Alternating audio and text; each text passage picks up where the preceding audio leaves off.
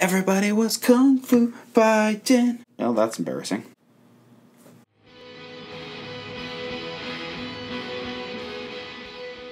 In Legend of Zelda A Link to the Past, the player plays as Link to solve a series of puzzles in order to restore Hyrule from the influence of Ganon. If you've watched my previous videos, you know where I'm going with this. A puzzle is just a bunch of steps you take to get a final picture, and we apply this approach directly to nodal analysis. The key difference between this video and my last video is that this time we're doing nodal analysis in AC, so we need to start by converting everything to phasor form and end by converting everything to time domain.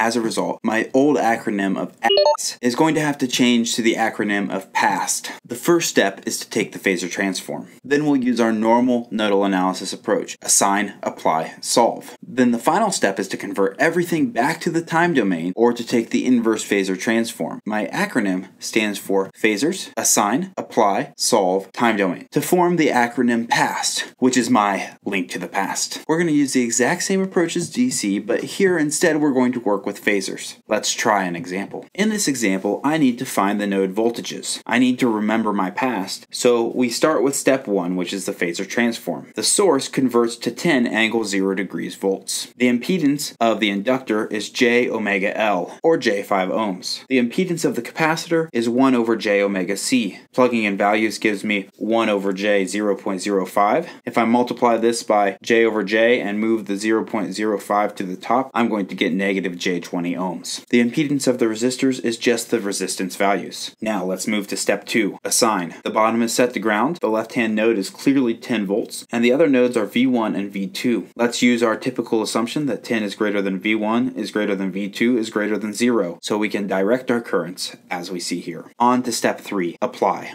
At node 1, we have IS1 coming in, I10 going out, and I12 going out. Applying the Ohm's law expression, we get 10 minus V1 over J5 minus V1 minus 0 over 1 minus V1 minus V2 over minus J20 equal to 0. Multiplying through by J20 and collecting terms, we're going to arrive at 3 plus J20 times V1 plus V2 equals to 40. Let's call this equation 1. At node 2, I have I12 coming in and I20 going out. Writing the Ohm's law expression expressions, I get v1 minus v2 over negative j20 minus v2 minus 0 over 10 equal to 0. Multiplying through by negative j20 and collecting terms, I'll get v1 plus negative 1 plus j2 times v2 equals to 0. Let's call this equation 2. On to step 4, solve. I'll put these in matrix form and use MATLAB. Fortunately, I already have a nice program written called solve AC matrix that will ask for the A matrix and B vector and return the polar form of the vector x. Plugging this in, I get V1 equals 1.94 angle negative 81.1 degrees volts and V2 equal to 0.87 angle negative 17.7 degrees volts. I'm not done yet. I need to take the final step, which is the time transform or inverse phasor transform. Taking this transform, I get V1 of t equal to 1.94 cosine of 5t minus 81.1 degrees volts and V2 of t equal to 0.87 cosine of 5t minus 17.7 degrees degrees volts. Now we are done.